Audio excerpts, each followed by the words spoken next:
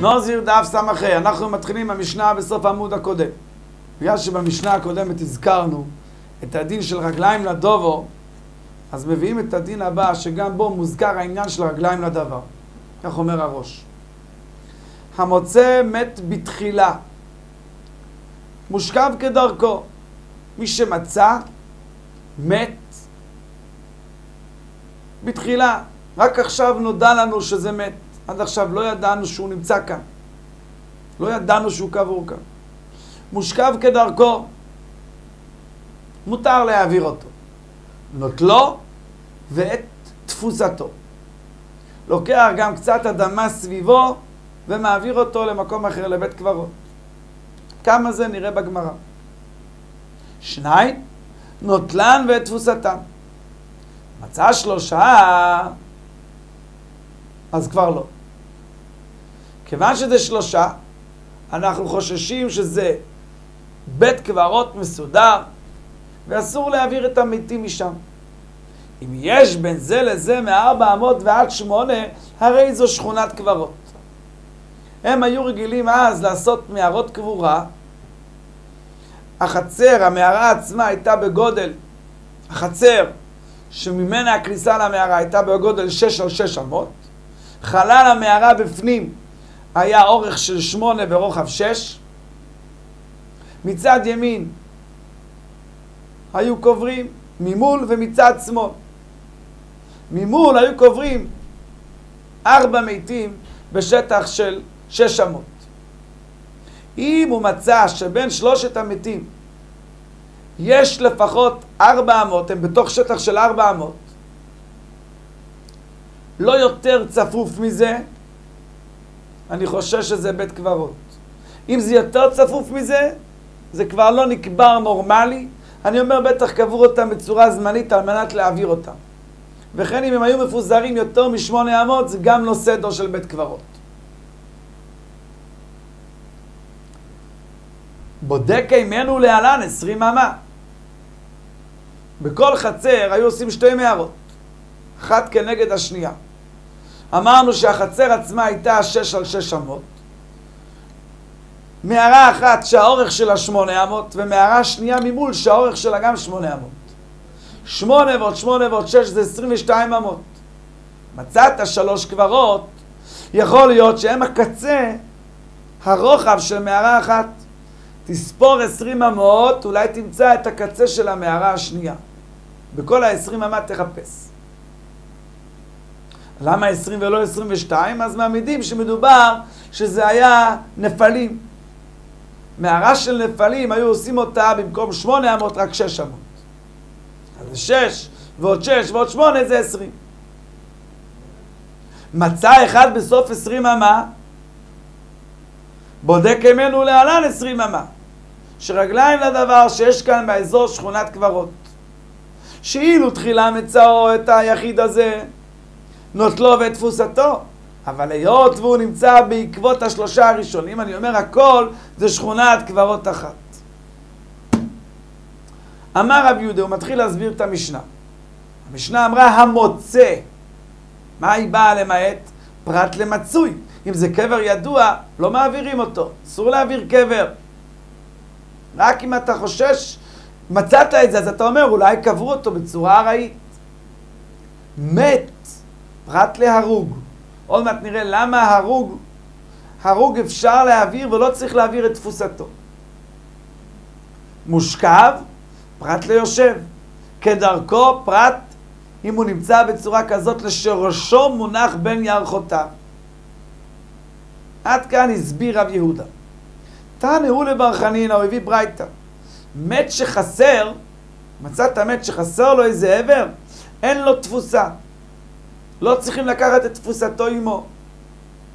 ולא שכונת קברות. מצאת אחד משלושת המתים שחסר לו עבר, אין לו דין שכונת קברות. תוספות מביאים שהרשב"ם אומר שזה הלכה למשה מסיני. אז לכן, אמרנו פרט להרוג, כי ההרוג הוא חסר. וכל הנם הייתיים לא. שאר המקרים, אם מצאת אותו יושב וראשו מונח בין ירחותיו, למה אין לו תפוסה? הוא הדין אין לו שכונת קברות, אמרינן דיל מעובד כוכבים הוא. דרך ישראל הייתה לקבור בצורה כזאת שהמת שוכב על הגב והידיים שלו נמצאים על הלב.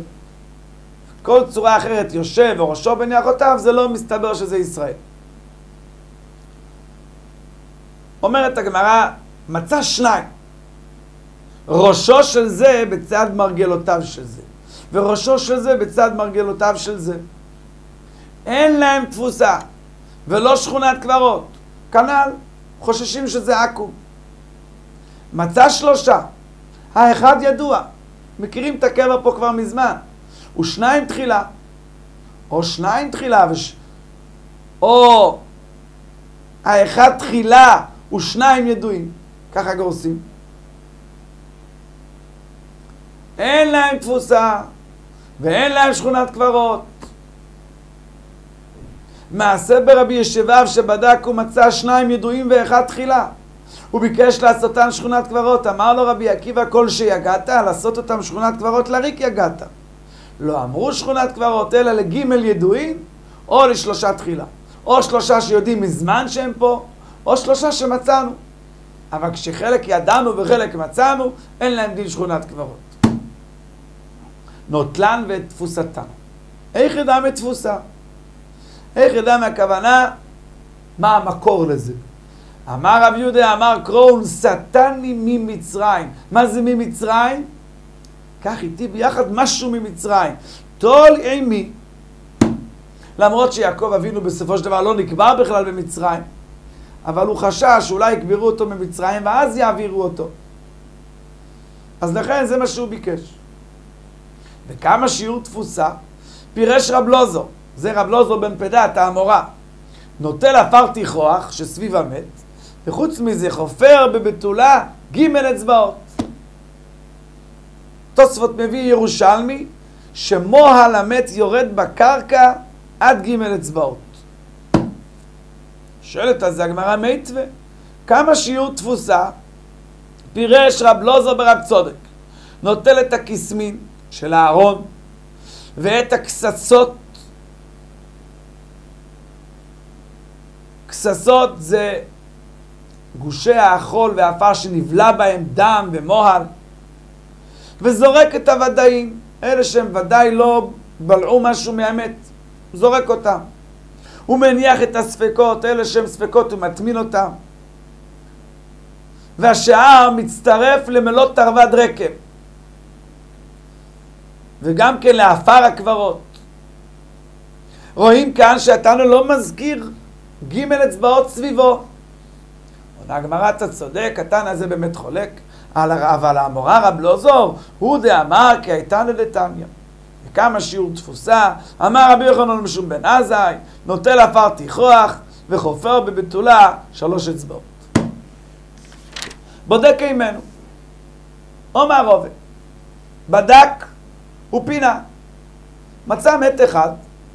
הוא אמר, מת אחד, מותר לפנות, פינה אותו. בדק ופינה, מצא עוד מת. פינה אותו גם כן.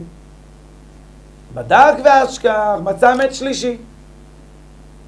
אם הוא קודם היה מוצא את שלושתם, היה אסור לו להזיז אותם. זה שכונת קברות. אבל פה הוא כבר פינה את השתיים. מה הדין? צריך להחזיר את השתיים בחזרה, או יכול לפנות את השלישי גם כן? לא היי מפנה לגבי הנח, לא צריך לפנות אותו ואסור לו לפנות את השלישי, אלא שניים הראשונים, ולא הנטרי לגבי היי, לא צריך להחזיר אותם. כדאי אמרו אמר רובה, כיוון שניתנה רשות לפנות, מפנה להון. כבר יכול לפנות גם את השלישי. שואלת המראה למה? ולשבינו שכונת קברות. אמר ריש לקיש, עילה מצאו וטיהרו, וטיהרו ארץ ישראל. חכמים רצו לתאר את ארץ ישראל, העדיפו לפנות קברים. אומרת הגמרא, בדק מ-20 אמה ולא מצא. מה יהיה הדין? האם נגיד, כיוון שזה רק שלוש קברות ולא מצא מסביב כלום, אולי זה לא שכונת קברות. עומר רב מנשיה בריר מיומר רב, שכונת קברות. אסור להזיז את זה. את המשך הגמרא הראש מוחק. עכשיו עוברים להלכות נגעים. כיוון שדיברנו על חזקס טומה וחזקס טהרה, אז נותנים גם דוגמה בנגוי. כל ספק נגעים. בתחילה, זאת אומרת, האיש הזה טהור ואתה מסתפק אם לטמא אותו, טהור. דוגמה מביא התוספות. לספק נגעים, הוא מביא משנה בנגוי. היה אדם שהיה לו מראה, שני אנשים. אחד היה לו מראה בגודל של כגריס, אחד היה יותר גדול, בגודל של כסלע. אמר הכהן לשניהם, היות והטומאה לא ברורה פה, אין שיער לבן וזה לא בערת בדיוק, הכניס אותם להסגר שבעה ימים. אם אחרי שבוע הנגע פסע, גדל, טמא ודאי נהיה מוחלט. נשאר ככה, נכנס להסגר נוסף. בא הכהן ומוצא את שניהם שיש להם נגע בגודל של כסלע. זאת אומרת שההוא שהיה לו כגריס גדל לכסלע. ההוא שהיה לו כסלע נשאר אותו דבר. והוא לא זוכר מי היה כגריס, מי היה כסלע. זה נקרא ספק נגע, שניהם טהורים לגמרי. תחזרו הביתה. ממשיכה המשנה. עד שלא, כל זה עד שלא נזקק לטומאה. מי שנזקק לטומאה, ספקות טמא. מביא גם פה התוספות את הדוגמה. זה היה לו נגע כגריס. זה היה לו נגע כסלע. הכניס את שניהם להסגר, עכשיו הוא רואה שלשניהם יש נגע בגודל של סלע פלוס. שניהם פסע הנגע, שניהם טמאים. קבע לשניהם בצורה מוחלט. אחרי שבוע, אחר זמן, שניהם חזר להם בחזרה לגודל של סלע. זה שהתחיל מסלע וגדל יותר וחזר לסלע נהיה טהור. זה שהתחיל מקגריס וגדל לסלע פלוס וחזר לסלע נשאר טמא. עכשיו הוא לא זוכר מי היה כגריס, מי היה כסלע. פה, כיוון שהם כבר טמאים, ספקות טמא. מנוע למי לא אמר רבי יהודה אמר רב אמר קרו, לטהרו או לטמו. הואיל ופתח בו הכתוב בטהרה תחילה, אז לכן אני במגמה של טהרה. שאתה אומר, האם זה פסוק? יהיה אחרי אפילו מי שנזקק לטומאה, למה תגיד שספקות טהור? אלא זה לא פסוק. אומר התוספות זה סברה. מעמידים את הבן אדם על חזקה. היה טהור, חזקתו טהור. היה טמא, חזקתו טמא. אז על מה רב יהודה אמר רב הביא את הפסוק? למקרה אחר. אלא כי איתמר דרב יהודה אמר רב, אהו איתמר. יש הלכה. סימן טומאה זה שני סימנים. בהרת ושיער לבן בבהרת. דווקא בתנאי שיש קודם בהרת ואחרי זה צמח שיער לבן. אם יש בבהרת שיער לבן. אבל אם יש שיער לבן ואחרי זה היה שם בהרת, טהור. אם בהרת קדמה לשיער לבן טמא, אם שיער לבן קודם לבהרת טהור, ספק, טמא. ורבי יהושע, רבי יהושע אמר קיאה. מה קיאה? אומר רב יהודה קיאה וטהור. רבי יהושע מתאר. מאיפה רבי יהושע אומר שטהור? ודילמה התורה רוצה לומר שטמא, אולי קיאה וטמא. אמר רבי יהודה אמר רב, אומר קרוא לטהרו לטמו. הואיל ופתח בו הכתוב בטהרה תחילה, אנחנו מכריעים יותר לטהרה. בתוספות שואלים בכסוב וזנו, אבל גם פה יש חזקה. אז הם עמודים מוקים תא שהוא היה כבר טמא בגלל משהו אחר, אף על פי כן לטהר אותו. עד כאן דף ס"ה.